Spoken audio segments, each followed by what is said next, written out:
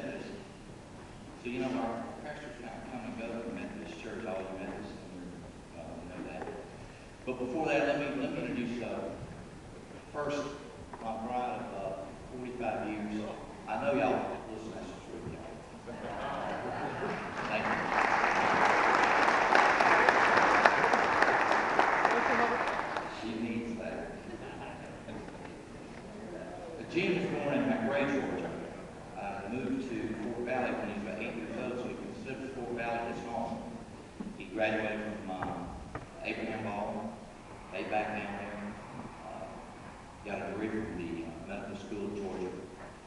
And then went to uh, seminary school where he got his master's at Ashburn, uh, Asbury, not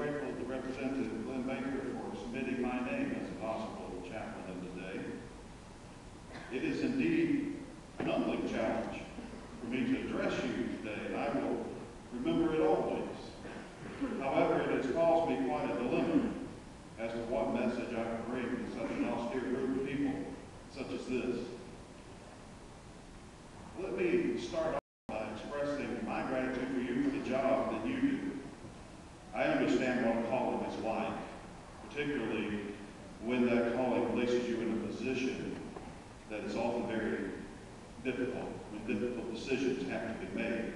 You face dilemmas every day in each and every assembly.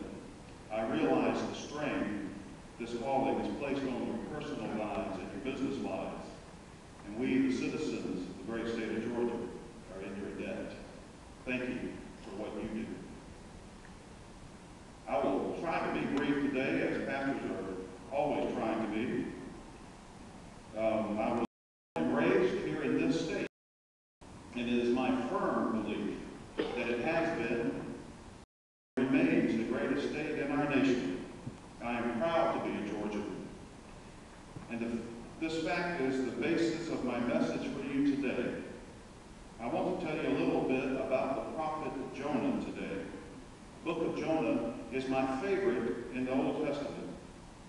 there are several reasons for this, but perhaps the most important is that it's very short, and I feel I have ADD.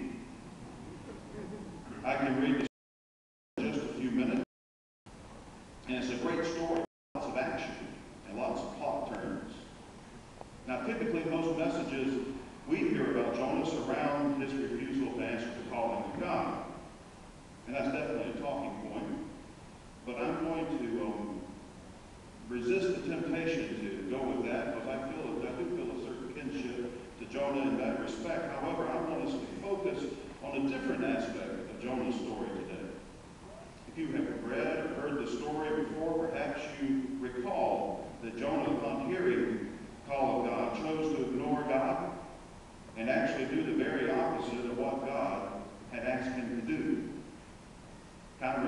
to my dog. I can throw a tennis ball, ask her to go fetch it, and she'll look at me and go the other way. As if saying, you threw it over there, you go get it. God had asked Jonah to go to the city of Nineveh and to tell its citizens that the Lord had seen their evil ways and was going to utterly destroy them. And you sometimes think your decisions are about Jonah wanted nothing to do with that. He got up and he fled in the opposite direction of Nineveh. Let's unpack that for just a second, if you will. Jonah is a son of Israel, the uniquely chosen people of God. He has been taught as a small child that God has a special relationship with his people, and that God is creator of all and sovereign over all. Yet Jonah refuses to listen to God's call. This causes me to ask why. Why, Jonah? Why did you not want to go to Nineveh? We do not need to speculate on the answer because we're told the answer at the end of the story. Jonah, following a brief, close encounter of the fish kind, reluctantly goes to Nineveh to preach God's warning. As he is going throughout the town preaching, people are listening and people are telling each other about what they are hearing. The news reaches the king of the city, who orders everyone to repent and to show signs of mourning in order to let God know that they are sorry and hoping that he will change his mind. Jonah, meanwhile, goes out of the city to a hillside overlooking the town and watches to see what will happen. When nothing does happen, no fire, no brimstone to destroy the city, he is royally ticked off. He begins to yell at God, See, I knew this would happen. I knew the people would listen and repent. I knew you would forgive them. Now I look like a fool. I wish I had never heard your voice. I wish I could just die. I'm so mad. God asked him, Are you angry because I have mercy? Let's look at this. Why would it upset Jonah?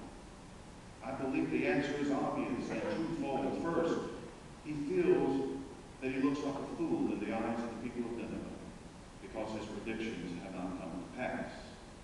But more importantly, he wanted to see those people destroyed. They deserved it. They were evil. They were not God's chosen people. God should have just wiped them off the face of the earth in his opinion. But you see, Jonah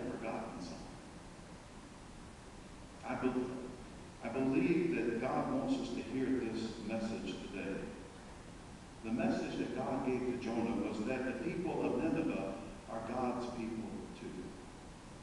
He, remind, he created them just like he created the people of Israel. And by the way, the people of Israel had their own issues with evil behavior too. What does this have to say for us today, here in this room? Here's what I hope we take away from the story. The fact is, we are a divided people, a divided state, a divided nation. It's us against them. Black against white, red against blue, liberal against conservative, my kind, your kind. This is especially true in an election year. There seems to be no common ground, but there is. We are all Georgians in this room. We love this state and what it has to offer. I lived in another state for four years a while back. It was a nice place, beautiful landscape, nice, friendly people. They even had four full and discrete, distinct seasons every year. Nevertheless, I could not wait to get back home to Georgia. I was born here. God willing, I will die here in Georgia. I hope you feel the same pride in this state. Let us not make the same mistake Jonah made. Not forget that we are brothers and sisters. We may have different views, but we are one people. We may believe in different solutions for the same problem, but we are one people. We may share different groups, philosophies, creeds, races, and genders, but we are one people. We are Georgia's people. We are God's people. Don't ever forget that. And when you're debating issues on this floor, remember that your opponent is your fellow Georgian. Try to see the other's point of view and seek compromise where possible. It is the diversity that makes Georgia great, and it is working together to find solutions that work that make Georgia strong. So reach across the aisle. Step over the lines. Put the argument down and celebrate on the common ground.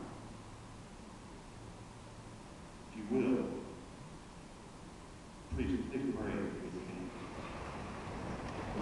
me. Lord God, our Father, I come before you today and lift up to you my brothers and sisters in the House of Representatives. I pray that you will be first and foremost on their minds and hearts as they deliberate issues that affect our state. Lord, allow your peace and grace to abound in this chamber, surrounding here with your love. May your spirit be among us and make us one. In all things, may we be pleasing in your sight to you, O Lord, our Redeemer. Amen. If you will join me in the Pledge of Allegiance to the flag. allegiance to the flag of the United States of America and to the republic for which it stands, one nation, under God, indivisible, with liberty and justice for all.